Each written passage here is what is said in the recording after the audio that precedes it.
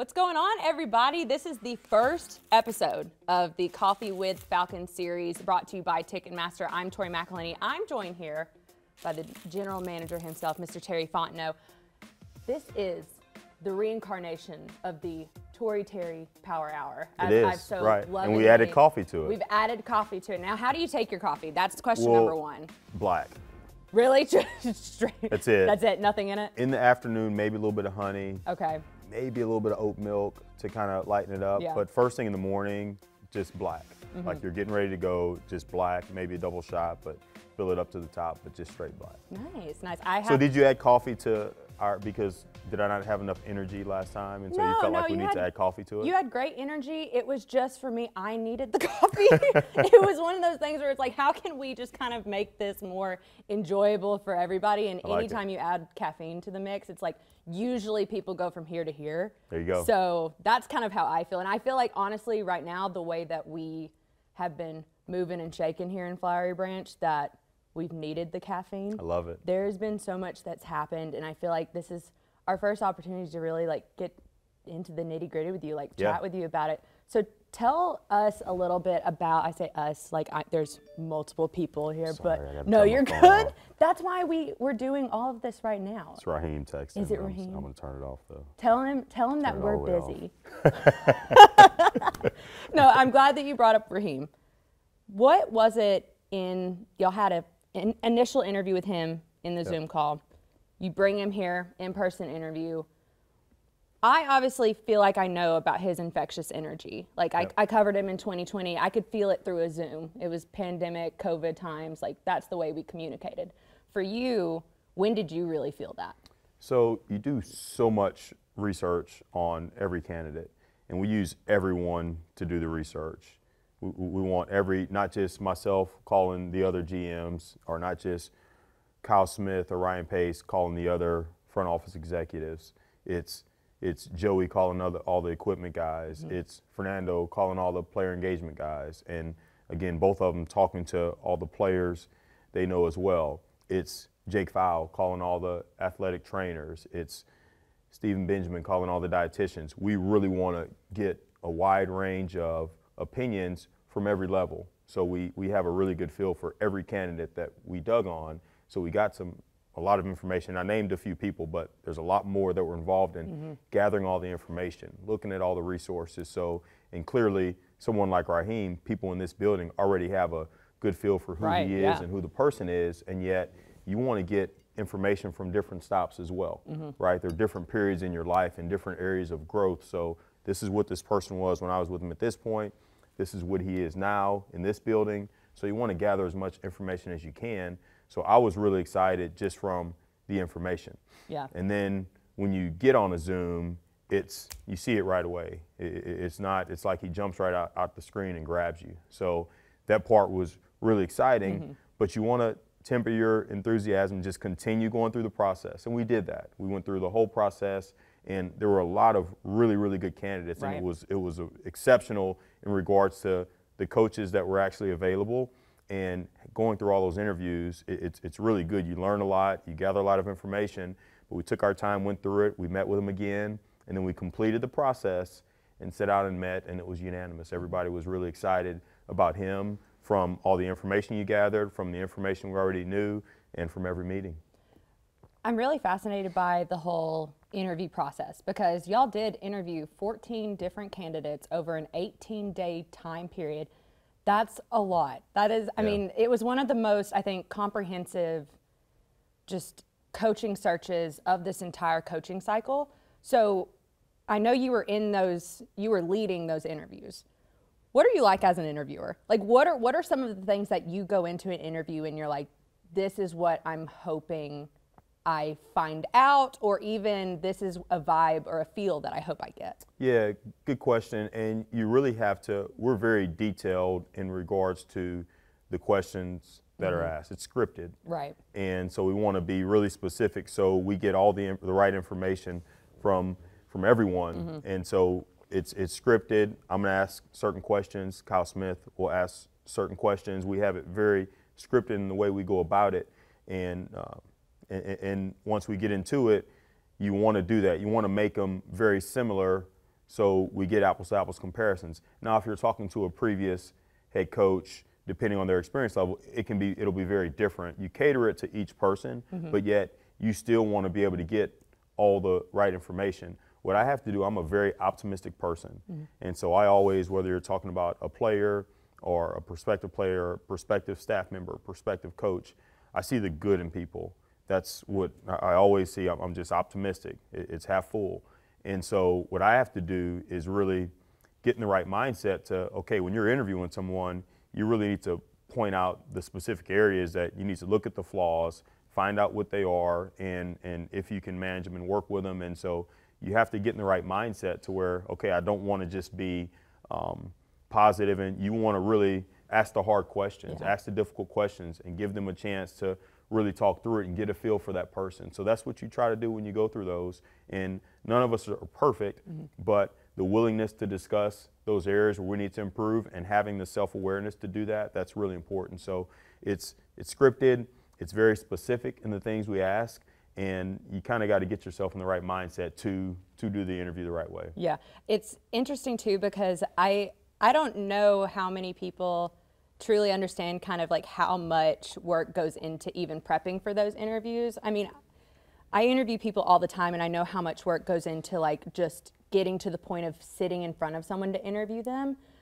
What did your kind of like day to day routine look like when you know I have two or three interviews on the docket today? Take us through a day. Like you wake up in the morning, you have your coffee black, like, and you get the day going. Like, what did it look like, really? Yeah, it's and and again, we, we interviewed 14 people, but we did a lot of research on a lot of other people as well.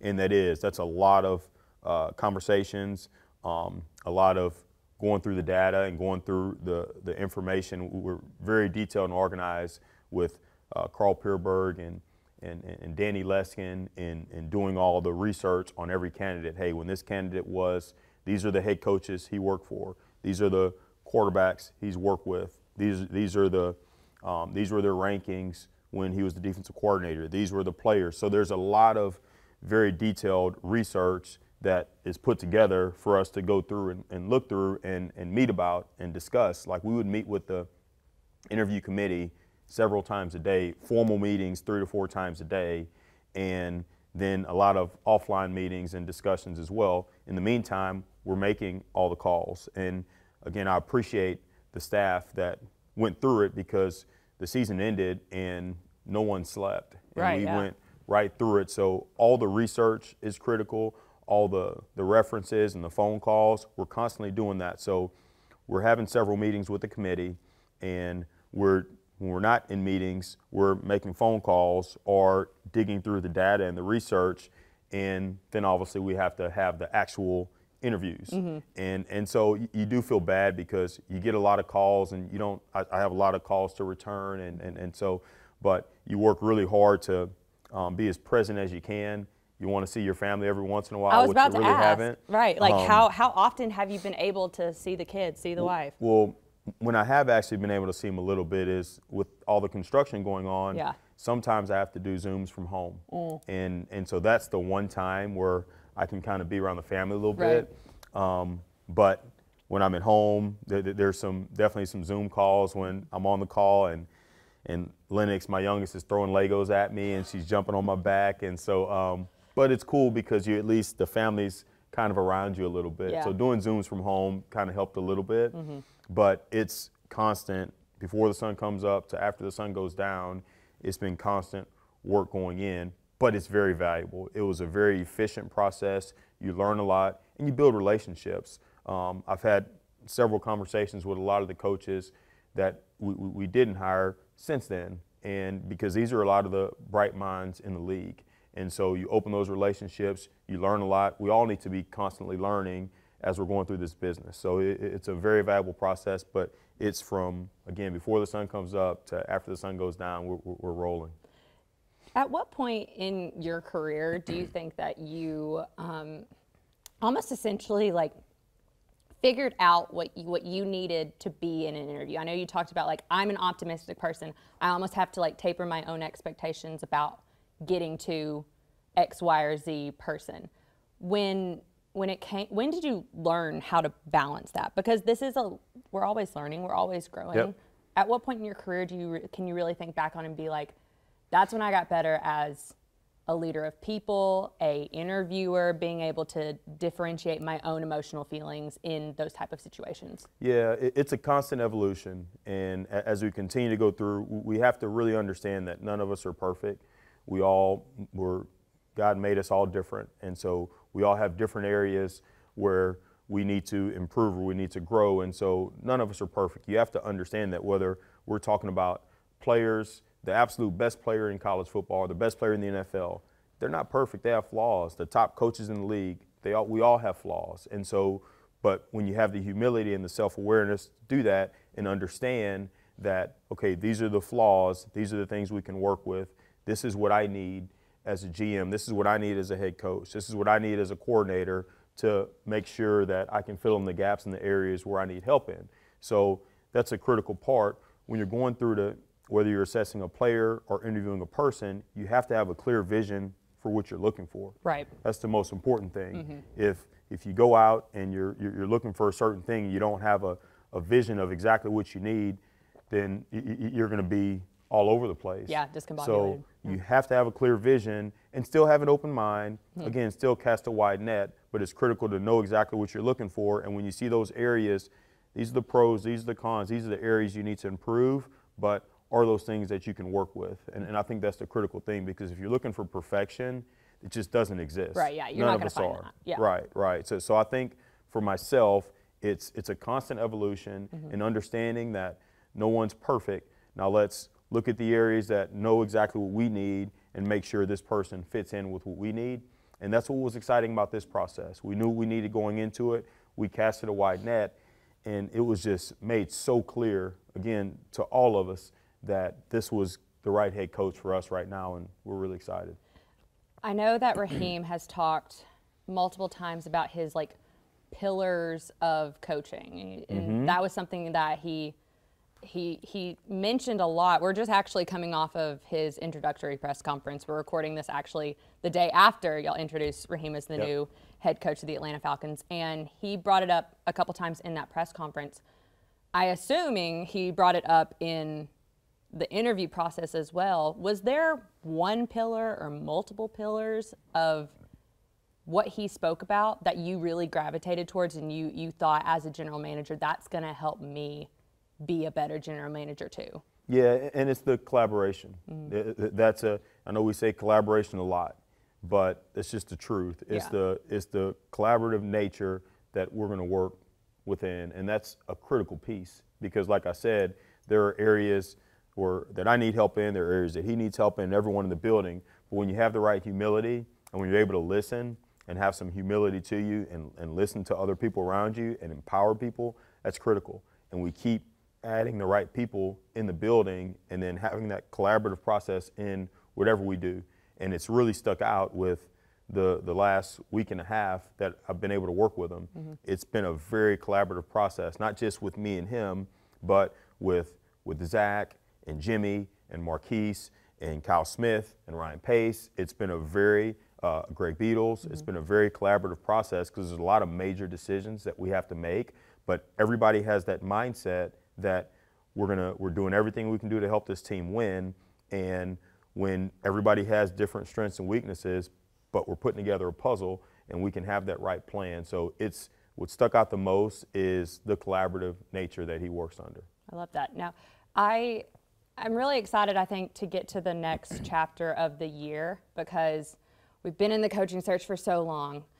The month of January, it to me felt like it was 75 days, not 31. I'm sure you probably felt very similar. Every day bled into the next one. yes Um, so now you have Raheem Morris in the building, filling have filled out majority of the coaching staff yep now it's finally time that y'all can kind of start really getting into the nitty gritty of a roster and, and Yep. seeing what you have and kind of, I think, building out and doing the things that are fun and the reason why you get into this job. yep For you, what excites you about the next stage of you know, combine's coming up, free agency is going to open up. I mean, it, draft, all of that is going to come in waves. What excites you about this next chapter? So excited. Uh, So right now, our college scouts just got in town um, yesterday, and we're having the February meetings right now. February meetings are when you you're just going off film, Right. right? The, the, there hasn't been, no one's worked out or or had Zoom meetings or anything like that. With the,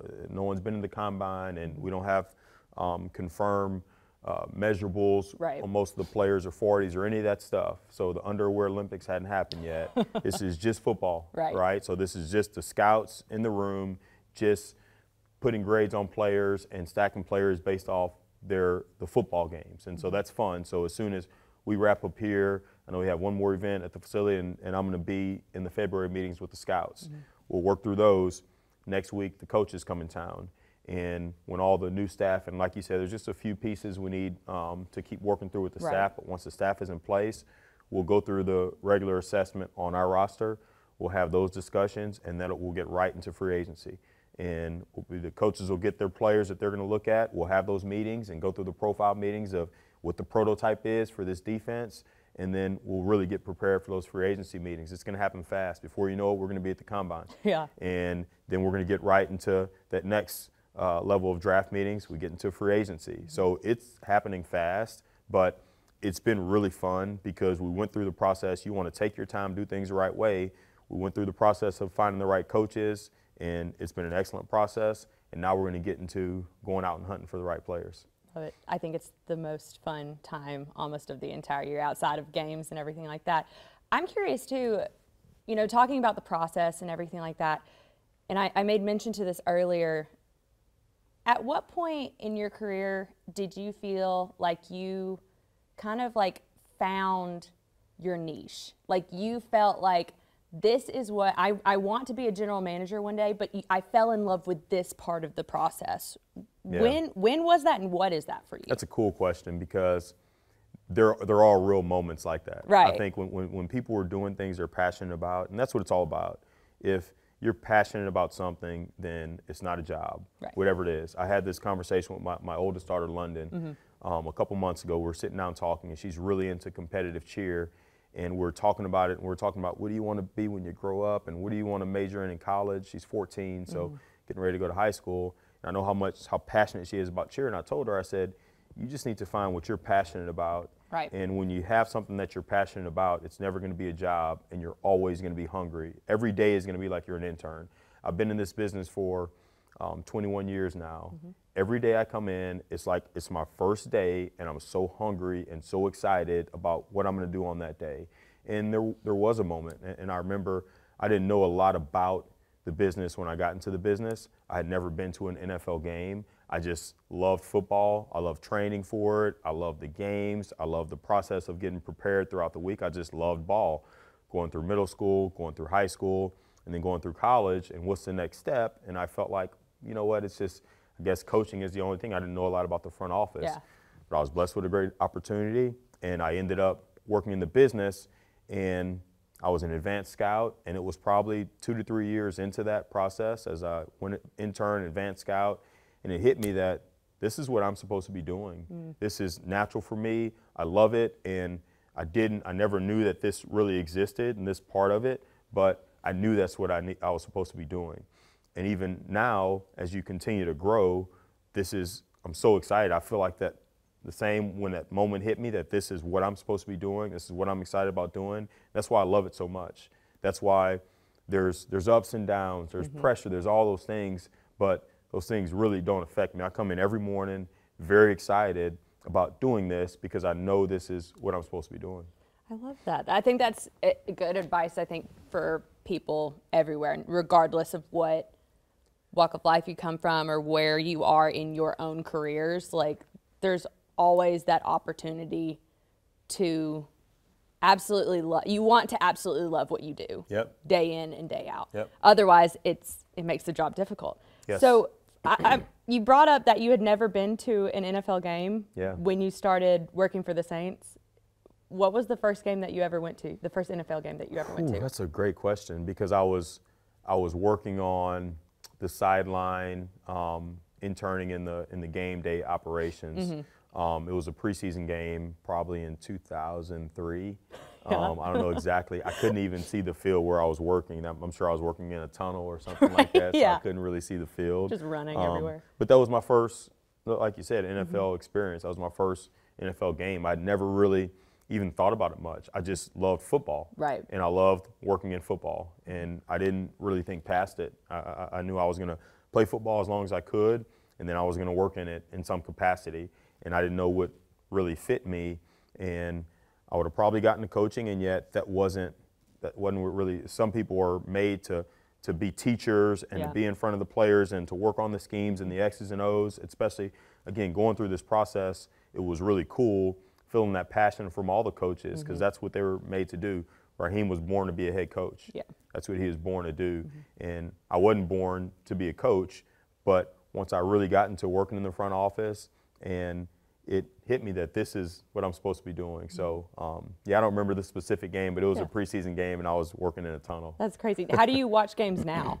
Like as you know, you were in the tunnel running around, but now you're the general manager of the Atlanta Mm-hmm. Falcons, and you sit up in a suite. Mm-hmm. How, what are you like on game day? I'm pretty, I'm, I'm pretty even, and I try to not uh, live and die with Right, yeah. with every single play. That's Right. just you know, even if inside you want, but I try to kind of stay even and Yeah. um, not too much. I used to, I was an advanced scout for so long, Uh-huh. so I'm used to being in the box with the coaches and helping them do things. Yeah. Which is easier to watch a game like that because when you're actually a part of helping do things up upstairs, helping the coaches get what they need, Mm-hmm. You're then like focused in focused and Yeah. you're doing something, right? Right. When you're not, when you're just sitting there, uh, and, and that's hard. Just like what our fans have to do. When you're Right. just sitting in a game like, and watching, Yeah. it gets a little angsty, you know. Right.